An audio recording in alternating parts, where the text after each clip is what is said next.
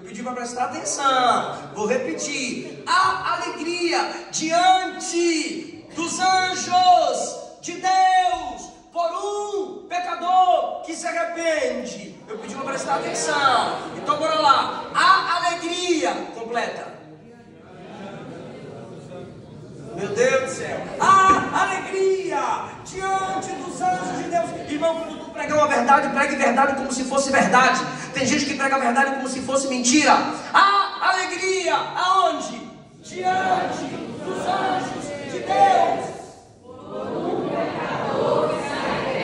Vou perguntar de novo para a mocidade: alegria está onde?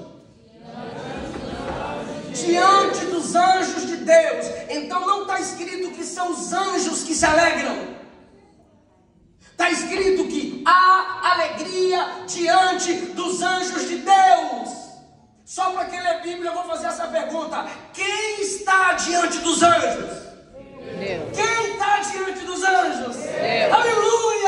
Então vem comigo, irmão. Quem fez a festa quando o filho voltou não foram os servos, foi o pai.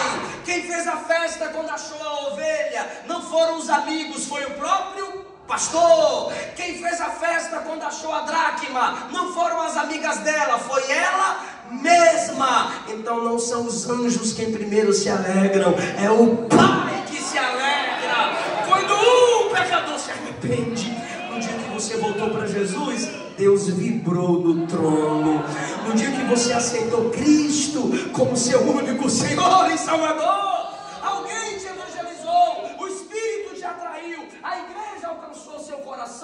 o próprio Pai se alegra no trono.